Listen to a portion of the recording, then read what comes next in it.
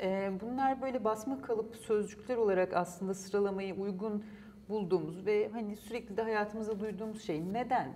Neden şirketin yargılanması önemli? Çünkü eğer bir e, kamu düzenine karşı e, insanların, insanın yaşam hakkı, en kutsal olan hakkı, yaşam hakkına karşı bir ihlal varsa bunun cezalandırılması bundan sonraki işlenecek e, buna karşı işlenecek suçların ihlalinin önüne geçilmesi için bir adımdır. Cezalandırma bu yüzden vardır. Yargılama bunun için vardır ve adil yargılama da bu yüzden önemlidir.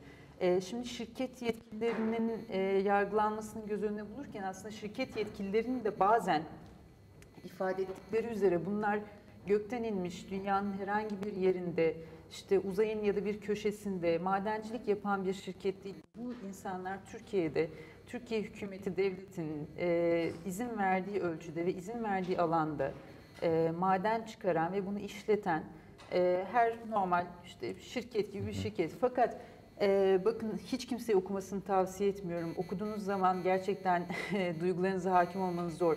E, lütfen dava dosyasına girin ve o bütün madencilerin e, gaz maskelerinin nasıl çalışmadığına ilişkin tanıklıklarını savcılıklarda verdikleri ifadeleri bir okuyun. E, can dayanmaz. Ne okumaya dayanır, ne onların yaşadıklarını tekrar hatırlamaya dayanır.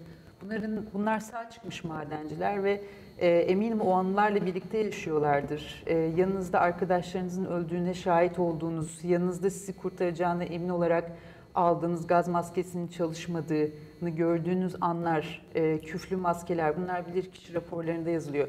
Şirketin bunlardan sorumlu olduğu kadar bunları denetlemekle sorumlu olan yetkililerin de mutlaka e, yetkilerini hangi ölçülerde kullandıkları, kullanmadıklarının araştırılması gerekir ki bundan sonra Türkiye'de madencilik yapan hiçbir şirket ben bir gün devletin düzenlediği mevzuatı, e, bana verdiği yetkinin e, iş güvenliği bağlamındaki önemini ihmal edersem bir gün asla bundan kurtulamam diye hissedebilsin ve bütün bütün madencilerin tek tek canını korumak için canla başla çalışsın, masraftan kaçınmasın diyelim kısaca ama e, örneğin yaşam odaları konusu var. Tartışmalı bir konu. Madencilerin bir kısmına göre yaşam odalarına kadar gelinecek aşamaya kadar diyelim.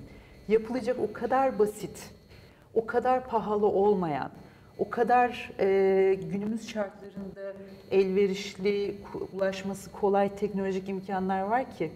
Yani yaşam biz onları uyguladığımız zaman diyor madenciler ve uzmanlar Birçok şey değişecek aslında. Yaşam odalarına gerek kalmayacak çünkü öyle bir kaza yaşanmayacak ya da öyle bir kaza yaşandığı zaman onlar zaten madenden çıkıp gidebilecekler. Bakın işçilerin en çok şikayet ettiği şeylerden bir tanesi o yine tanıkla e, mahkeme kayıtlarında geçen ifadelerde kaçamamış birka- birkaçı düşmüş bayıldığı anda çünkü yerde çeşitli demirler var. Ana yollar temizlenmemiş.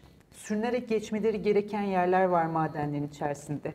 O insanlar eğer iki ayakları üzerinde düşünün karbon monoksitin etkisi altındasınız, bayılmak üzeresiniz. Bir de bir demire takıldığınız zaman tekrar kalkamayıp öyle orada ö- ö- böyle ölenler